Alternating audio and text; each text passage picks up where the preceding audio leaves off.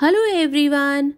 Did you know? During the colonial days, the sailing ships used to carry horses from Europe to West Indies.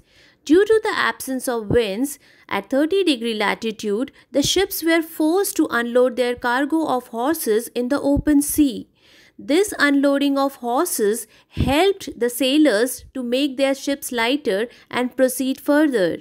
Thus, these 30 degree latitudes are also known as horse latitudes.